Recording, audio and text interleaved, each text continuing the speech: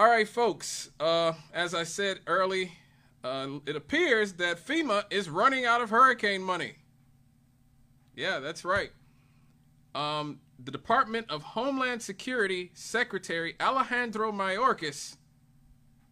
You have to say Alejandro Mayorkas because he's Cuban. Told reporters on Wednesday that the Federal Emergency Management Agency does not have enough funding to last the rest of this year. Now, the DHS oversees FEMA, putting him in charge of the Emergency Relief Agency. He says, We are meeting the immediate needs with the money we have, he told reporters, but we are expecting another hurricane hitting, and FEMA does not have the funds to make it through this season. The startling admission by Alejandro Mayorkas comes as FEMA is grappling with the damage of Hurricane Helene, which was a Category 4 hurricane that ripped through the southeast and is already is already cost billions of dollars in damages. There's also widespread infrastructure damage, food shortages, and there's been over 100 deaths. So, President Joe Biden said earlier that he may call on Congress to pass for more funding for FEMA. He said FEMA has what it needs for immediate response for immediate response and recovery efforts. As uh, FEMA Administrator Deanne Criswell has said, she has the full authority to spend against the president's budget but we are not out of hurricane season yet, so we just need to keep a close eye on it. Said, and that was said by the director of public affairs and FEMA spokesperson Jacqueline Rothenberg. We may need to go back into immediate needs funding, and we will be watching it closely. Now, the hurricane season is expected to last until the end of next month. That is November. So, good God. Just imagine just imagine. We are in one of the most contentious elections ever, right here. One of the most contentious elections of all time, with uh, obviously Donald Trump and Kamala Harris. Oh, by the way, I voted this week. That's right. I, I went to early voting right here at the uh, library yesterday. They hooked me up. I was in and out in five minutes. I always tell you guys vote early. Do not wait to election day when there will be lines around the building. Don't do it. I, I, every Thursday you can vote until 7 p.m. right here at the library. If you're from the city of Gary here, take advantage. And I think every other day you can vote until 3 o'clock during the week. Take advantage. Please take advantage. Do not wait to the last moment.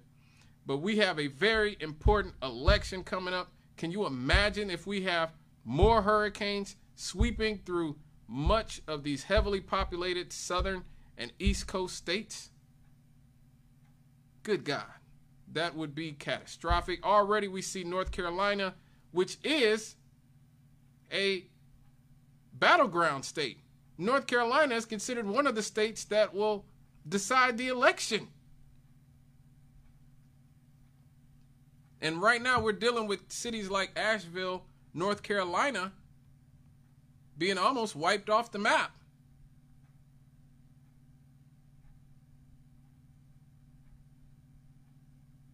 So we, are going to have to keep an eye on that.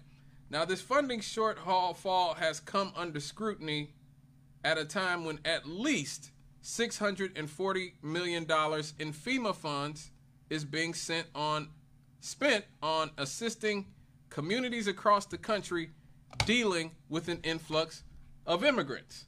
Now, when when we're asked about the the FEMA dollars that were being spent on immigrants, this is what Karine Jean Pierre had to say. Trump is accusing the Biden administration of using FEMA funding to support undocumented migrants. How is the White House responding to that? I mean, it's just categorically false. It is not true. It is a false statement. Uh, and look, the fact of the matter is, I think Washington Post fact checker uh, did a piece, and the headline recently, just moments ago, not too long ago, and the headline was No, Biden did not take uh, FEMA relief uh, money to use uh, to use on migrants, but Trump did. Okay, now this is actually from Colorado. Colorado has recently said that something that might be a little bit different influx of migrants continues to have an impact across the nation and certainly here at home in Colorado. Denver alone housing nearly 4,600 migrants right now. Other cities in the state stepping up to help, but they say they cannot do it alone. And now nonprofits and local senators and representatives are asking for more help from the federal government. Fox 1 political reporter Gabrielle Franklin is on it. Gabrielle. Yeah, Erica, it's something that city leaders here in Denver have been calling on for a while. More federal help from the government to aid migrants. Now the calls are growing louder and the patience is getting thin. We have never received on the migrant response direct support from the federal government. Amanda Blaurock is a co founder of the Village Exchange Center in Aurora. The center helps anywhere between five to 700 families a week, providing wraparound services. We do have support via the state, the Office of New Americans. Uh, we have about 250,000 uh, that we received that came from the FEMA dollars of 2.5 million that came to the state. Um, that money is used for our food pantry um, that helps supply um, hygiene products, our security guards, and also food to individuals that are here. The funds they received from the state just started going towards their work in December. I don't think we should leave Denver or Colorado and holding the financial end of the stick the federal government needs to step in and help, and it should. U.S. Senator Michael Bennet and Colorado's other Democratic congressional members wrote a letter to FEMA this month, urging the federal government to step up by increasing funding for FEMA's shelter and services program to include more cities and nonprofits. Bennet saying relief should be coming soon. Hopefully, they're they're going to be, be able to respond relatively quickly to the things they can do administratively there are some things that we're probably going to have to do legislatively. And as you know, I've been involved for months in this effort to try to get a bipartisan agreement on immigration done as part of the supplemental that is covering Ukraine and Israel and some other matters. And it does feel like we're finally coming to an agreement. So, what exactly is FEMA spending on immigrants. You see how, how slick the government is. Like the government sends their spokesperson out like, no, no FEMA dollars are going to immigrants, but you gotta you gotta read between the lines. You gotta read between the lines. So what is FEMA spending on the immigrants? The shelter and it's called SSP. The Shelter and Services Program provides funding to non-federal agencies to spend on humanitarian services for non-US citizens immigrants. For the 2024 fiscal year, which ended on Monday, $640 million was made available for this program. The FEMA website says that this is this funding is intended to support the CBP, the U.S. Custom, Customs and Border Protection. In the safe and orderly and humane release of non-citizen migrants from, from short-term holding facilities. This money can be spent on a range of services including food, shelter, transportation, acute medical care, clothing, and translation services.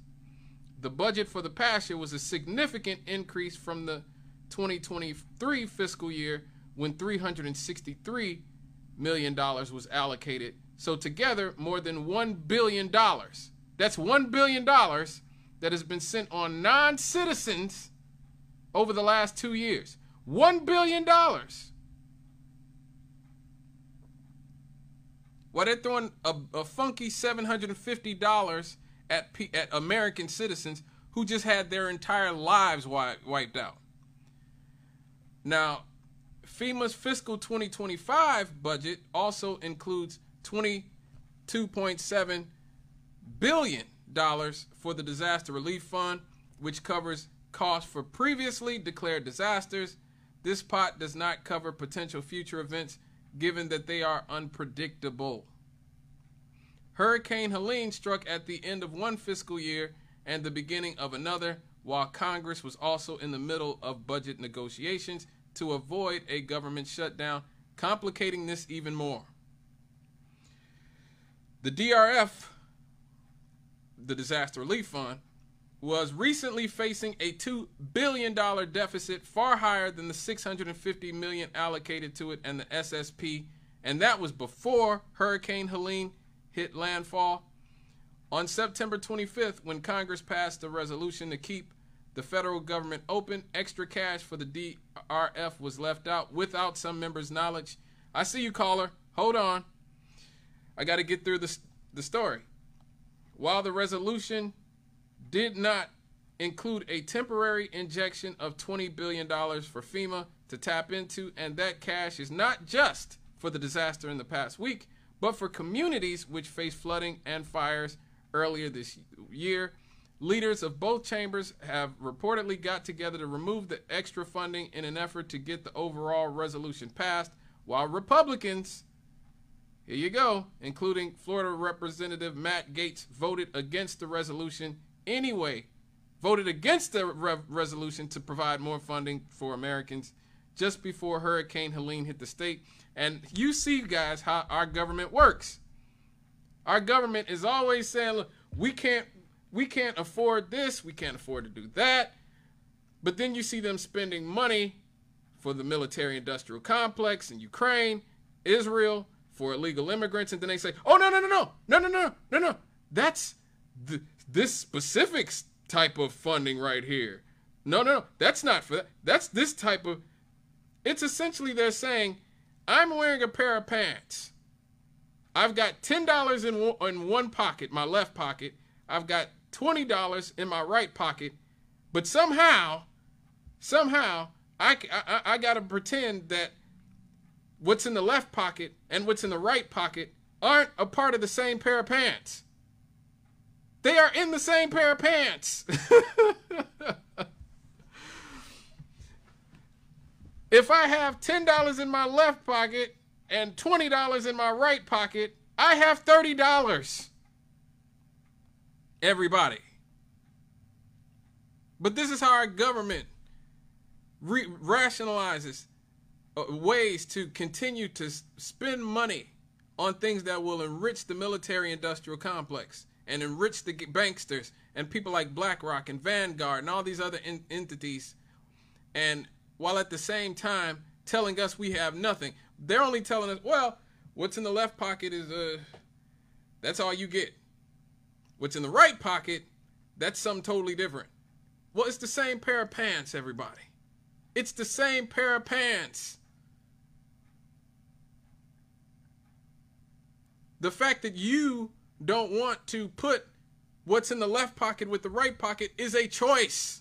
That is a choice. You are choosing to spend billion, two hundred billion dollars on arming Ukraine and fighting this proxy war with, Russia. You are choosing to spend money to give money to Israel, billions upon billions upon billions to commit genocide in Gaza and now in Lebanon, and then you send hundreds of millions to Lebanon after giving Israel the weapons to bomb Lebanon.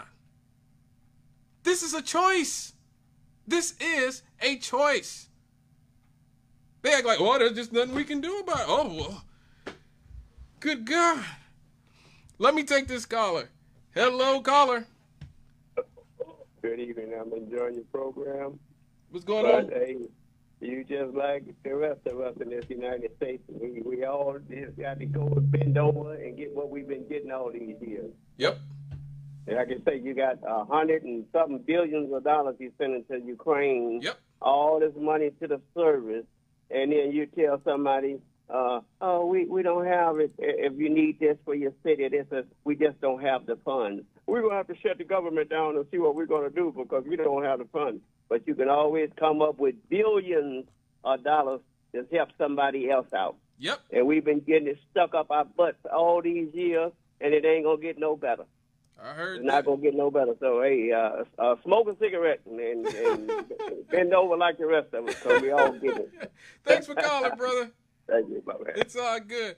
I, I refuse to be that pessimistic about it. To me, I think it can get better, but us as a 330 million Americans have to stop going along with the program.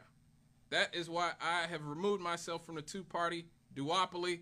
I don't support either. I've been open. I don't support either candidate. I don't support Trump. I don't support Kamala. I don't support the Republicans. I don't support the Democrats. Okay. Now, locally, I might have uh, certain, uh, I might vote a certain way, but when it comes to the national parties, the parties that uh, essentially, you know, get uh, decide the direction of our government, I have nothing but contempt and and uh, disdain for those people, and I refuse to participate in what they are trying to sell me. I refuse. I absolutely refuse. There has to be a reckoning for these people. They do not deserve to continue to get our votes. They do not con- con- deserve to continue to, to get the permission and the consent that they need to govern over us. They don't. They don't deserve it. We should not be donating to these money people's campaigns. We should not be casting our vote for these people who do these types of things.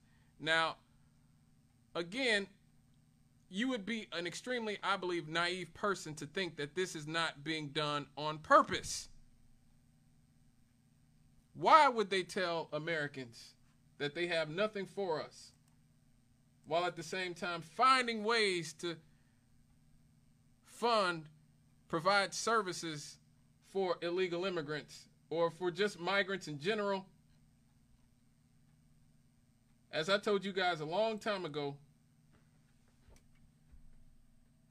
I played on, on this show many times what Dick Durbin, the senator from Illinois, guy I've been watching since I was a little kid, when before Obama even,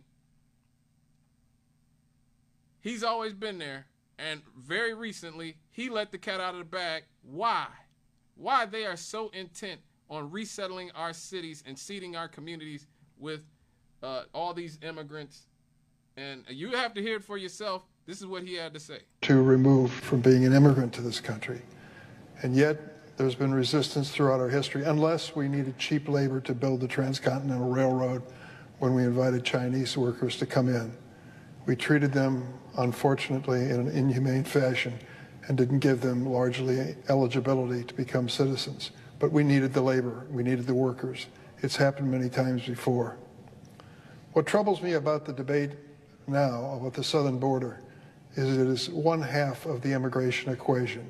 Yes, we need order at the border. Yes, we need to have changes in the laws that reflect the reality of the overwhelming numbers from all over the world who are coming to our, our shores and our border. But there's also an incredible demand for legal immigration into this country even now. The presiding officer, my colleague from the state of Illinois, has legislation which addresses one aspect of that her bill, and I hope I describe it accurately, says that if you're an undocumented person in this country and you can pass the physical and the required test, background test, the like, you can serve in our military, and if you do it honorably, we will make you citizens of the United States. Do we need that? Do you know what the recruiting numbers are at the Army and the Navy and the Air Force? They can't reach their quotas each month. They can't find enough people to join our military forces. And there are those who are undocumented who want the chance to serve and risk their lives for this country. And there you go. The Army, the Air Force, the Navy, they can't meet their quotas. And you have all these immigrants who can be directly shipped off to, I guess, whatever World War III hotspot they got for us. Because they seem to be very intent on starting World War III on all fronts. The people that run this country, the real people, because we all know Joe Biden is not in charge. I tried telling y'all months ago that that man was demented and was gone. It was obvious. It was obvious. And Kamala Harris and all the Democrats gaslit all of us for the last three or four years. Oh, Joe Biden's perfectly fine. That man ain't running the country. He's gone. Joe Biden is a husk, an empty husk. Okay? At this point. So, who is the real people running this country? Those people, they want World War III badly. They want it badly. They can't wait to antagonize Russia, Iran, China. For decades, the biggest fear our government had was Russia and China coming together. It's why Richard Nixon went to China back in the 70s to try to smooth things out a little bit. He did not want them getting together. That was the fear. And now, and now, this foreign policy establishment that we have are pushing the, them together.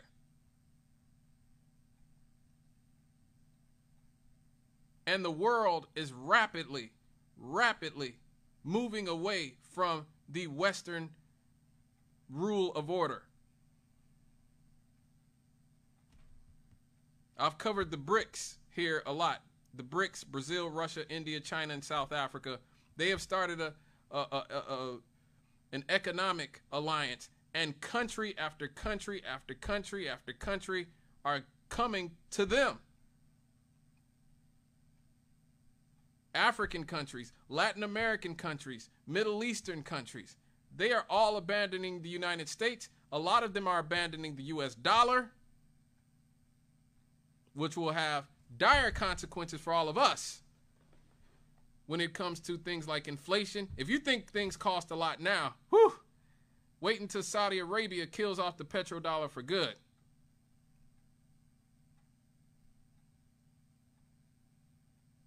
And so these people who are doing everything in their power to start World War III, to antagonize it with Russia over Ukraine, to antagonize it with Iran over Israel, and and uh, Israel has nine million people, nine million. It's a small country.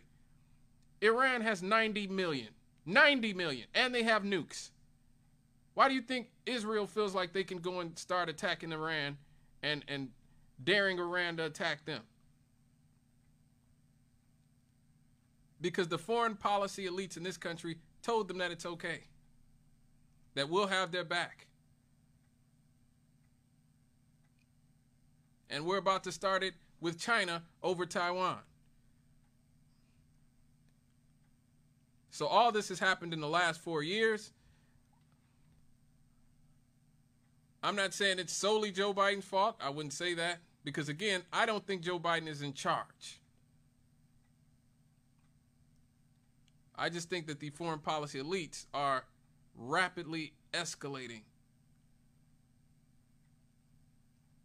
their aggression against other the rest of the world. And this could have catastrophic consequences for all of us here and abroad. And so it's important to understand why these things are happening why they they keep they keep finding funding for people who just got here yesterday.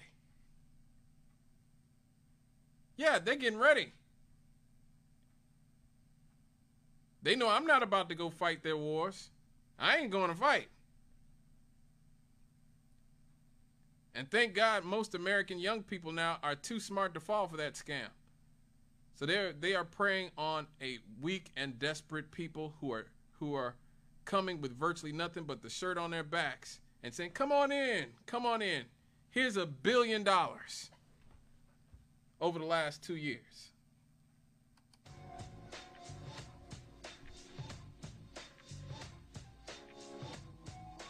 As the late great Tupac said, they got money for wars, but they can't feed the poor. Yeah. Here it is right there. All right, folks. When we get back, we're not we're not moving totally away from immigration. We're going to talk about uh who some of these people are we're letting in this country. We'll be right back after these. Oh, and later on, again, next hour, we're going to talk about the whole Jerome Prince fiasco and how it's just another, another brick in the wall of the legacy of corruption here in Lake County. We'll be right back after these folks. Straight out of cannon.